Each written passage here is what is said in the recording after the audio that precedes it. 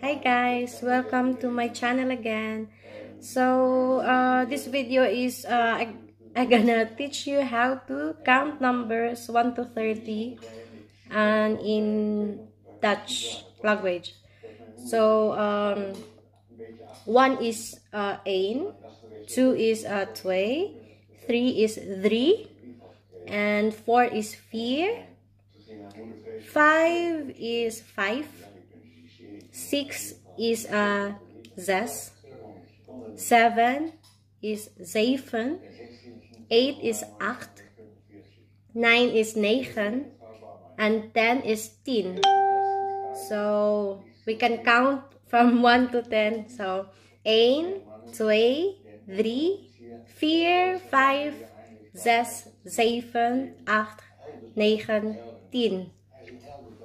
And from 11 11 is elf. 12 is 12. 13 is 13. 14 is 15. 15 is 15. 16 is uh, 16. 17 is uh, 17. And 18 is 18. 19 is 19. And 20 is 20. 11, 12, 13, 14, 15, 16, 17, 18, 19, and 20. Mahirap yung dalawang number sa kanila kasi uunahin mo yung pagbasa yung pangalawa tsaka yung pinakauna. So, like for example, we count from 21 to 30. So, uh, 21 is ein and 20.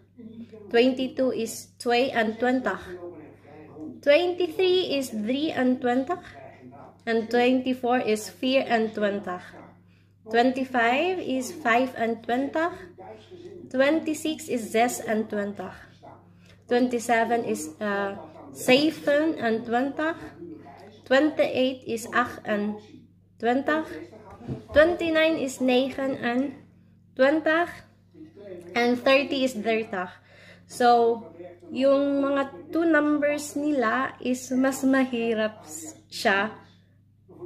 Kasi like 23, hindi mo siya sabihin uh, 23 kasi yung sa kanila, unahin mo yung 3 tsaka yung 20. So, sinasabi nila 23 is 3 and 20. So, we count from 1 to 30. 1, 2, 3, 4, 5, 6, 7, 8, 9, 10, 11, 12, 13, 14, 15, 16, 17, 18, 19, 20, 21, 22, 23, 24, 25, 26,